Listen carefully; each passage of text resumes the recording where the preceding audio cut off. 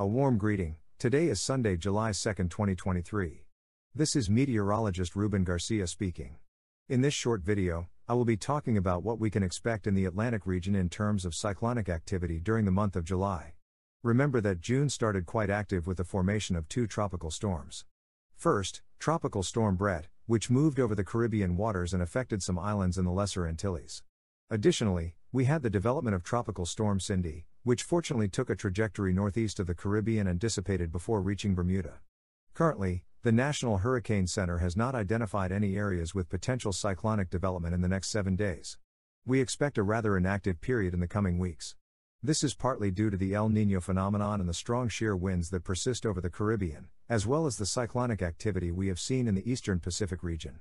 In fact, the development of one or two additional cyclones is expected in the next 10 days in the Pacific. Typically, when we see cyclonic activity in the eastern Pacific, it is much more difficult to see cyclone formation in the Atlantic. It appears that this will be the case for at least the next two weeks. By mid July, we will start to observe several strong tropical waves coming from Africa. Although the conditions may not be favorable for development until late July or early August, according to some indications we will see in the next few minutes. Another reason why the next two weeks are expected to be inactive is that the Madden Julian Oscillation will remain quite active in the central and western Pacific region, while conditions in the Atlantic and the Indian Ocean are unfavorable for tropical cyclone formation. It is forecasted that the focus of cyclone activity will remain in the eastern Pacific region at least until mid July. Additionally, remember that July is one of the least active months in the Atlantic Ocean basin. However, in some hurricane seasons, we see the formation of cyclones to the east of the United States and in the Gulf of Mexico.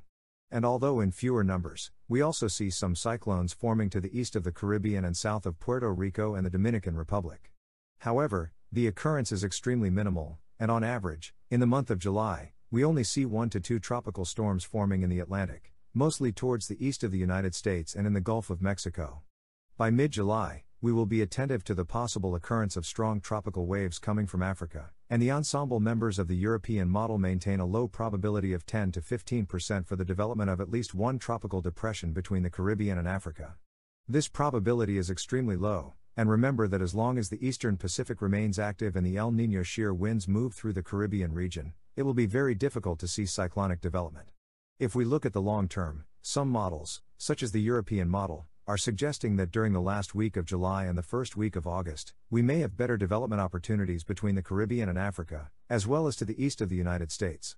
Preliminarily, and considering that these long term forecasts have a lot of margin for error, it is possible that the next real development opportunity we have in the Atlantic will be towards the end of July or the beginning of August. In the meantime, we can be calm in the Atlantic region, and here at Hurricane Info, I will remain vigilant in case there is any significant change in this forecast. Remember to subscribe to my channel to stay informed during this hurricane season. I hope you all have an excellent week. Goodbye for now.